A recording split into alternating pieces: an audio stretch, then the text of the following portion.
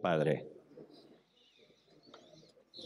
Los cuatro seres vivientes fueron los primeros en postrarse y adorar ante el Señor Jesucristo. Y cuando vemos en estos versículos, vamos a ver que no nomás son ellos, pero también los ancianos. Y después de los ancianos hay ángeles. Y después de eso, todo el mundo va a adorar a Jesucristo.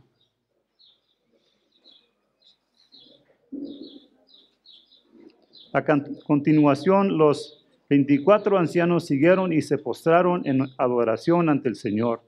Aquí los ancianos se muestran en un papel sacerdotal, sacerdotal con arpas, incienso.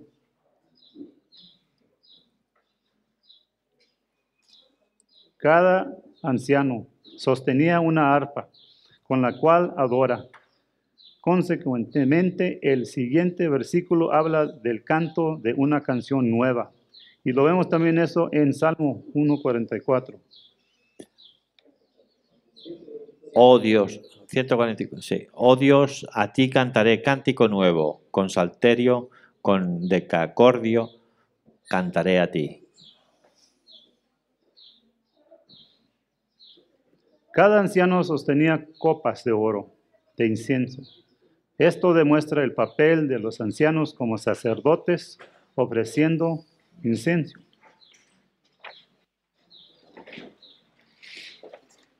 Como sacerdotes, nuestras oraciones van delante del trono de Dios y son conservadas en recipientes como un olor fragrante al Señor. Salmo 1.41, por favor. Suba mi oración delante de ti como el incienso, el don de mis manos como la ofrenda de la tarde.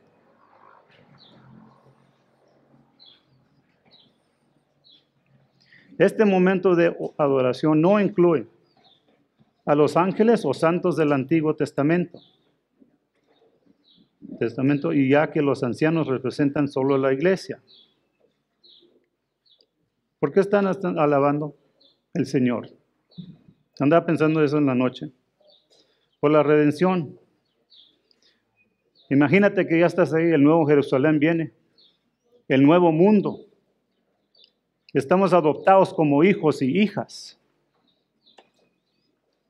Y andaba pensando, ¿cómo puedo a tratar de dar de ejemplo o tratar de, traerles a la mente a la gente qué es hacer agradable por uno salvándole la vida. ¿verdad? Y me acuerdo un día, yo más antes volaba, era piloto, aviones chicos de Cessna. Y un día fui a mi hora de instrucción y fui con este muchacho, era joven, más joven que yo. Y salimos juntos y nos fuimos y me dijo, vete a unos tres mil pies. So ahí iba yo. Llegamos a tres mil pies y dijo, mira, deja ir al volante y no hagas nada. Dijo, ok. Inmediatamente él agarró el volante y lo empujó para, para abajo, para frente. El avión volteó y se fue para abajo, directamente así para abajo. Ustedes si han oído en películas o la tele el, el sonido que ponen la tele cuando el avión va y se va, ¿verdad? Así se oye, ¿verdad? Así se oye en, segundos, estaba mirando yo, andaba pensando, se me fue por la cabeza, ¿qué está pasando? Porque veo el mar que se me viene, ¿verdad? Y andaba pensando, ¿qué pasó? Porque yo no hice nada más. Dije, algo le pasó a lo mejor al muchacho. Perdió la novia. ¿Qué, qué pasó? ¿No, ¿No pasó un examen? ¿Qué es lo que está pasando? ¿Se quiere matar y se quiere llevar a mí también? Y andaba pensando, pero en, segundos se metió y dije, ¿sabes qué? Voy a tener que matarlo. No, eh, no había otra cosa, nomás él y yo, ¿verdad? Y otra vez, uno, traté de agarrar el volante, ¿verdad? Para estirarlo para atrás y me dice, no, no lo toques. Y, y de eso es cuando me, me pensé, no, ya, voy a agarrarlo y le voy a pegar. ¿Verdad? ¿Dónde le pego? En el pescuezo para nomás ahí matarlo ya.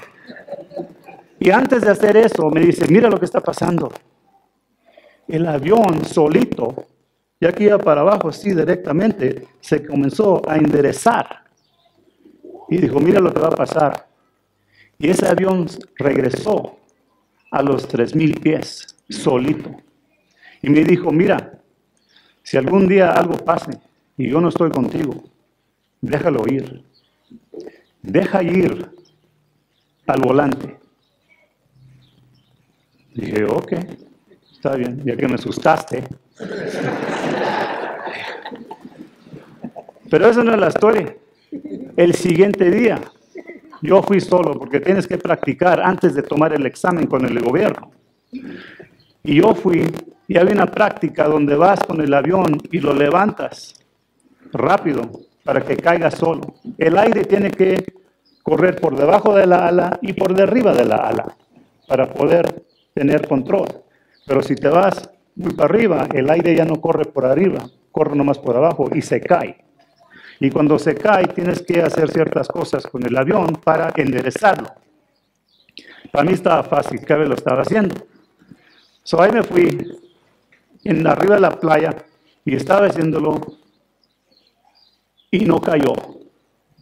Se fue de, cola así para atrás, para abajo. ¿Verdad? Me acuerdo como quisiera ayer.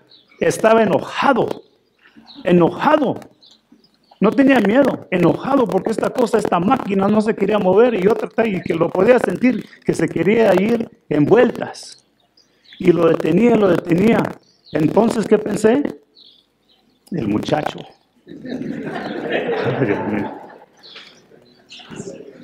Por unos segundos dije, ¿qué más? Lo dejé ir. El segundo que lo dejé ir, miré lo que hice yo mal. Tenía una pata adelante donde debía ser la otra, ¿verdad? En lo que le llaman el rudder. Los pelos, los, los pedales. ¿El qué? Los pedales. los pedales. Y, y se bajó, entonces ya supe que lo que pasó y lo controlé, ¿verdad? ¿Tú crees que no sabía lo que pasó? Agradable estaba yo. ¿Quién me salvó? ¿El muchacho? Porque me enseñó sí. Pero eso no era parte de la instrucción, no era parte de lo que estaba en lo que ya escrito, o leído en el libro de instrucción para ser piloto. No era parte del examen tampoco. Él nomás lo hizo por... yo digo que Dios se lo metió en la cabeza. ¿Quién me salvó? Dios. Y estaba agradable. Dios estaba volando para arriba y para abajo como huerco loco, ¿verdad? Dándole, si, si me podía salir del avión y brincar para arriba y para abajo para darle gracias a Dios, ¿verdad? Lo hubiera hecho. No era posible.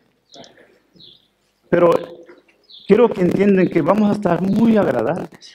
Vamos a dar una adoración tremenda. No nomás nosotros, ¿verdad? Pero los ángeles, los ancianos, los seres.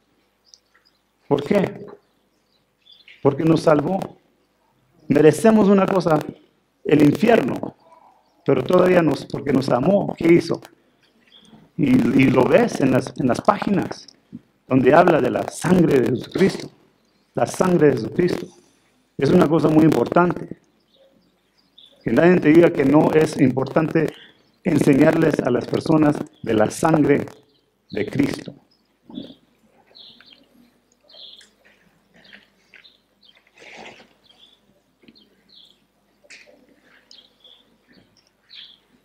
Apocalipsis 4, 5, 9. ¿Dónde Dice, digno eres, Jesús. Era el único digno que de tomar el rollo y desatar sus sellos. Él es la única persona digna de nuestra adoración.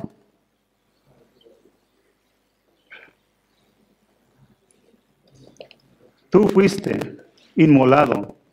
Él es digno porque Él fue santificado, sacrificado. Su muerte por nuestros pecados es lo que ha comprado nuestra redención. Isaías 53, por favor. Angustiado él y afligido, no abrió su boca, como cordero fue llevado al matadero, y como oveja delante de sus trasquiladores enmudeció y no abrió su boca. Por eso puede desatar los sellos, porque él dio su sangre, Y con tu sangre nos has redimido para Dios. Jesús nos compra con su sangre. Esto es a través de su muerte sacrificial, sustitutiva. 1 Corintios. Porque habéis sido comprados por precio. Glorificad pues a Dios en vuestro cuerpo y en vuestro espíritu, los cuales son de Dios. Te compró. ¿Dónde estás? Te compró. Glorifícalo con tu cuerpo. No es más claro. Él compró la gente de todo linaje o linaje o aquellos que de cada comunidad autónoma. Él compró a gente de toda lengua o aquellos de cada idioma distintivo. Él compró a gente de todo pueblo o aquellos unidos por una sociedad común.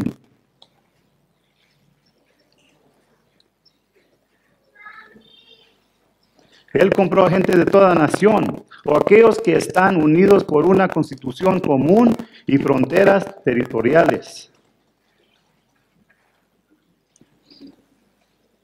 Y esta fue la manera como Juan buscaba incluir siempre a todo grupo posible de personas. Él utilizó esta construcción literaria varias veces en el libro de Apocalipsis para incluir todas las categorías posibles de gente. En Apocalipsis, vamos a ver el ejemplo que nos enseña. Apocalipsis 7.9.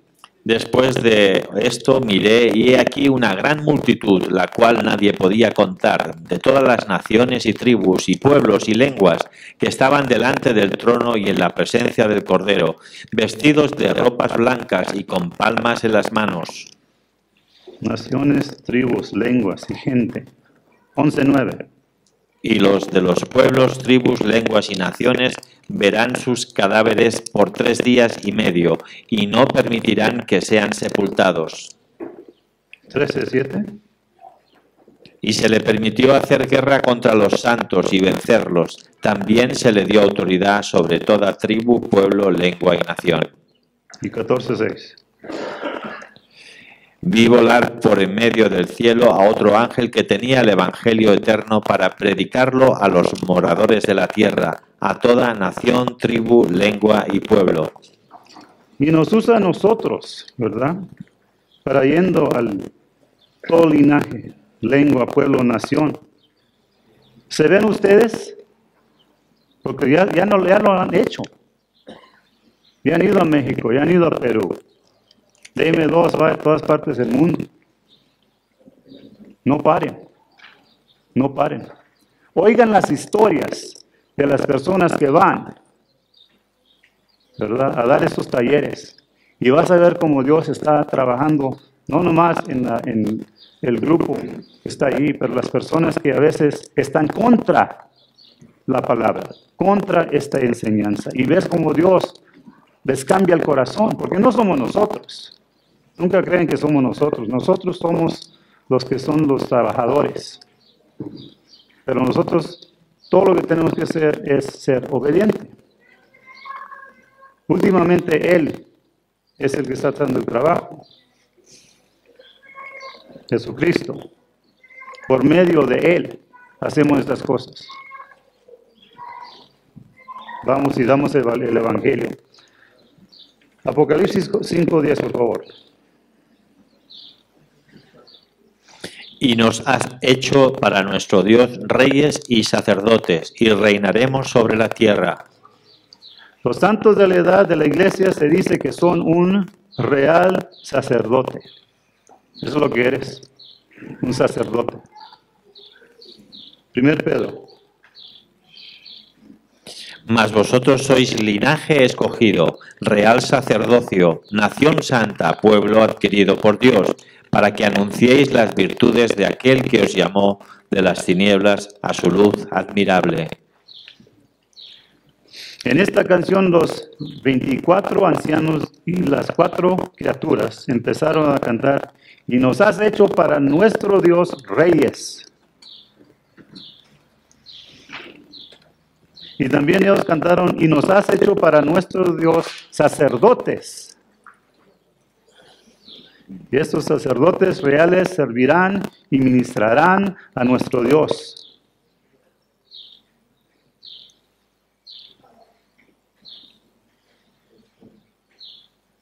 Los creyentes de la edad de la iglesia ya son sacerdotes, los cuales ofrecen sacrificios espirituales al Señor. Vamos a ver eso en 1 Pedro 2.5. Vosotros también, como piedras vivas, sed edificados como casa espiritual y sacerdocio santo, para ofrecer sacrificios espirituales aceptables a Dios por medio de Jesucristo. Nosotros continuaremos haciéndole, haciéndolo así durante el reino milenial y por toda la eternidad. Por toda la eternidad. Los sacerdotes interceden, hacen mediación y tienen acceso a Dios. Esto ilustra el acceso completo del creyente a Dios el Padre por medio de Jesucristo. Hebreos 3:15. Entre tanto que se dice, si oyereis hoy su voz, no endurezcáis vuestros corazones como en la provocación.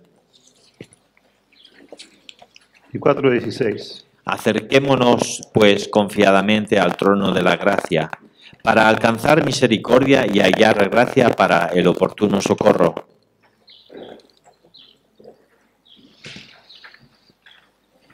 En Apocalipsis 1:6, Juan dijo esto acerca de los creyentes de la edad de la iglesia, y nos hizo reyes y sacerdotes para Dios su Padre. Esta declaración, esta declaración del capítulo 1 confirma que los 24 ancianos de hecho representan a la iglesia.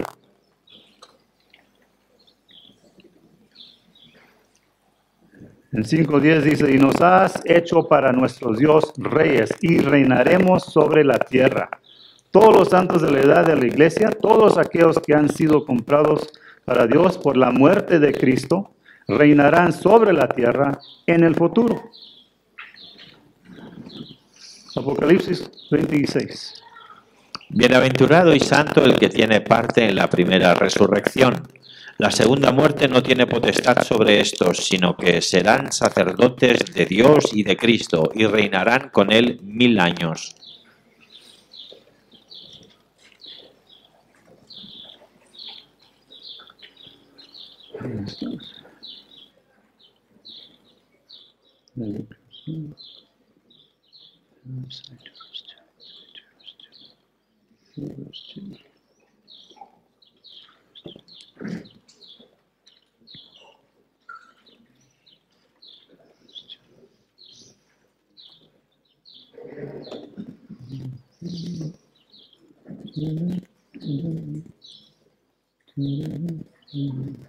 Y pues, ahí está.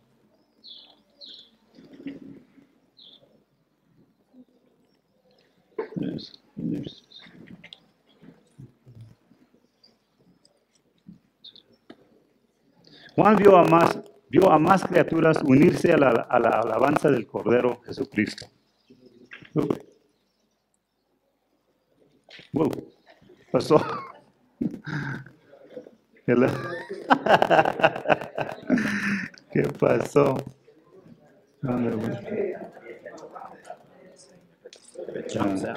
There it is.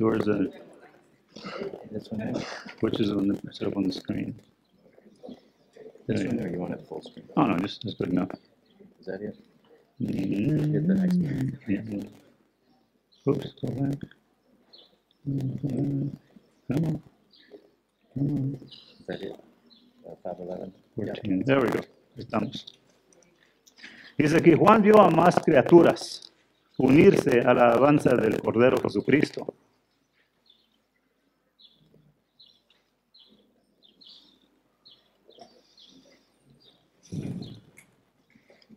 Lee 5.11, por favor. Y miré y oí la voz de muchos ángeles alrededor del trono, y de los seres vivientes y de los ancianos, y su número era millones de millones. Ya no eran solamente los cuatro seres vivientes y los 24 ancianos los que adoraban al Cordero, ahora ángeles innumerables se habían unido a ellos. El número, el número de ellos era millones de millones. La LB, la, cada vez se me olvida que es la Biblia del lato americano. Ok. Añade la frase miriadas de miriadas. Una miriada, es decir, diez mil, era el número de mayor valor en el sistema numérico romano.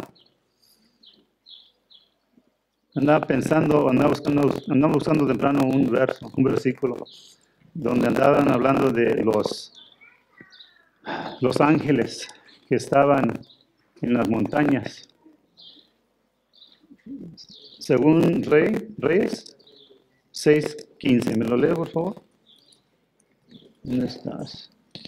Y se levantó de mañana y salió el que servía al varón de Dios, y he aquí el ejército que tenía sitiada la ciudad, con gente de a caballo y carros. Entonces su criado le dijo, Ah, señor mío, ¿qué haremos?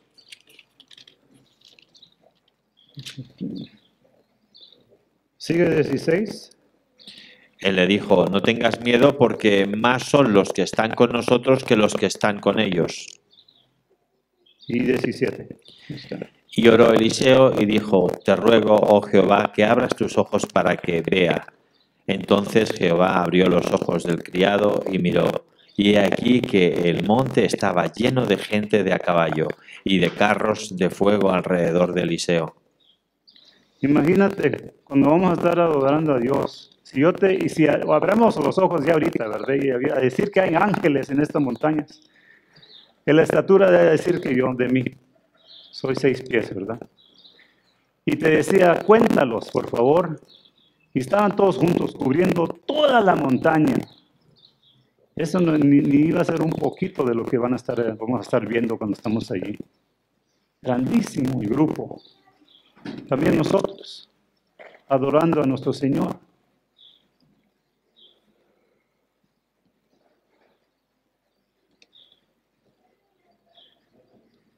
Cinco doce, por favor. que decían a gran voz, el cordero que fue inmolado es digno de tomar el poder, las riquezas, la sabiduría, la fortaleza, la honra, la gloria y la alabanza. Todas estas criaturas clamaban en una gran voz armoniosa, mostrando poderos, poderosamente la unidad completa en su adoración. Ellos dijeron, el cordero es digno. Una vez más, la palabra cordero es en realidad corderito. En el griego es arnión.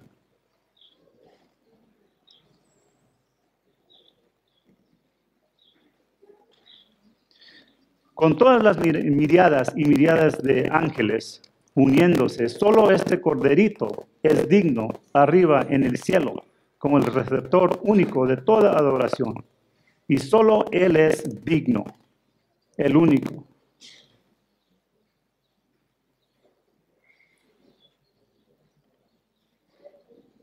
Jesús es digno de esta adoración, ya que fue inmolado.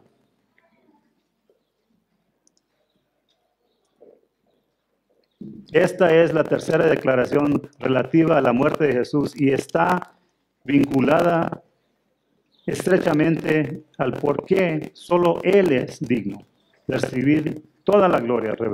¿Me lee 5.6 por favor? Y miren por qué.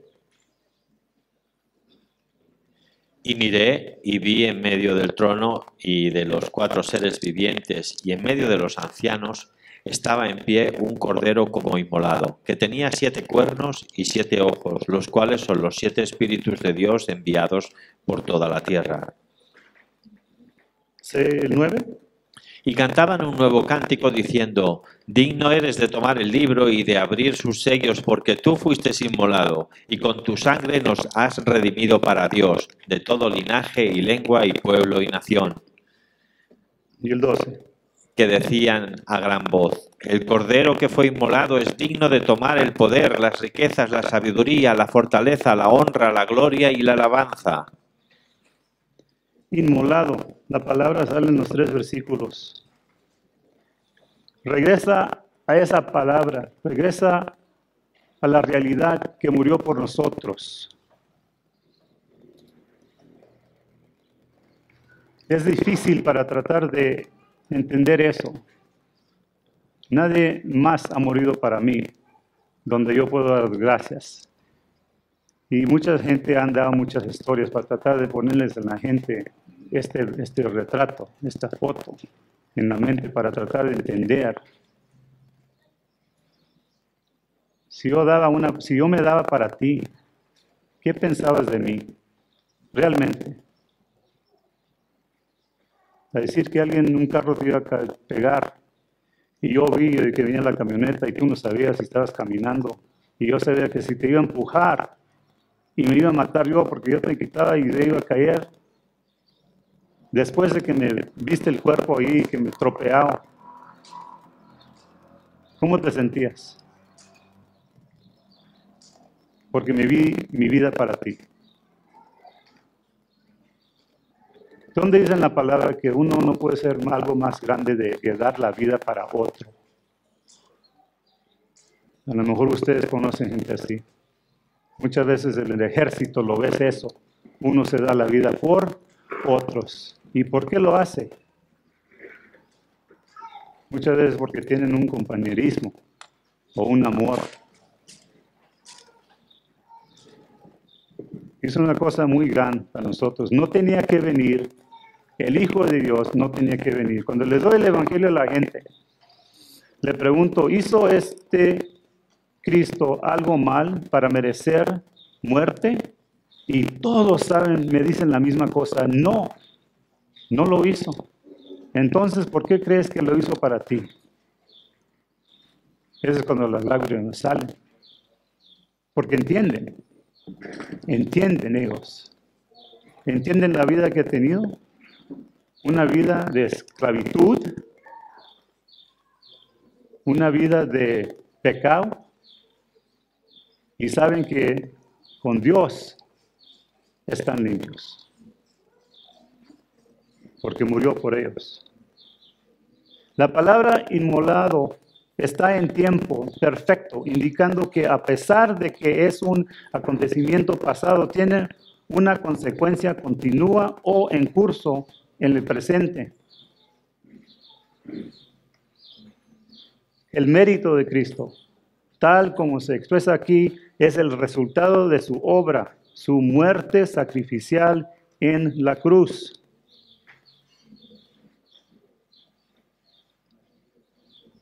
El Evangelio de la muerte de Jesús por los pecados no solo ha comprado y asegurado nuestra vida eterna, sino que también se ha convertido en el acontecimiento más decisivo de toda la historia del mundo.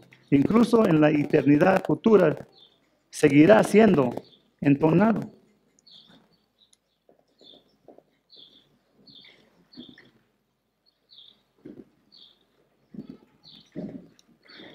Me lee 4, 5, 12 otra vez, por favor.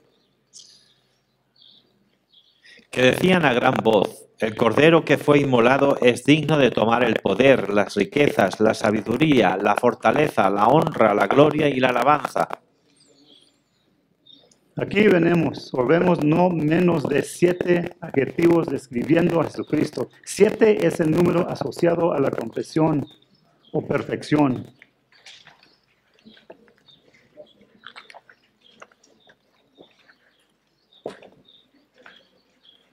El poder y las riquezas y la sabiduría y la fortaleza y la honra y la gloria y la alabanza. La repetición en el griego de la palabra y kai entre cada cualidad trae un énfasis especial a su carácter incomparable y persona.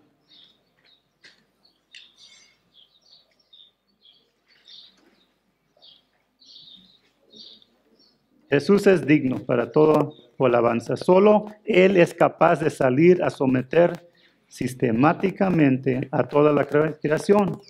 1 Corintios, por favor. Pero cada uno en su debido orden. Cristo las primicias, luego los que son de Cristo en su venida, luego el fin cuando entregue el reino al Dios y Padre, cuando haya suprimido todo dominio, toda autoridad y potencia, porque es preciso porque preciso es que Él reine hasta que haya puesto a todos sus enemigos debajo de sus pies, y el postrer enemigo que será destruido es la muerte, porque todas las cosas las sujetó debajo de sus pies. Y cuando dice que todas las cosas han sido sujetadas a Él, claramente se exceptúa aquel que sujetó a Él todas las cosas. Pero luego que todas las cosas le estén sujetas, entonces también el Hijo mismo se sujetará al que le sujetó a Él todas las cosas, para que Dios sea todo en todos. Amén.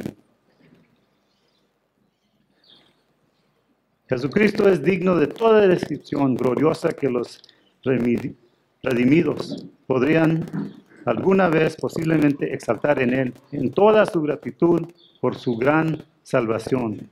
Cada vez regresa para atrás a lo que hizo por nosotros, esa obra, esa obra. Hermanos, les pido que piensen mucho de esto. Le vamos a dar gloria. Y ahorita debemos de darle gloria. ¿Por qué? Porque nos salvó. Nos salvó. Podemos tener una vida, una vida abundante y todavía darle gloria. No importa en qué situación estamos, le podemos dar gloria. Dice la palabra también cuando las cosas se ponen mal, todavía debemos de dar gracias, ¿verdad? Por él está con nosotros, Él no nos deja ir. Puede estar en un desierto y todavía va a estar contigo. Te ama tanto a ti.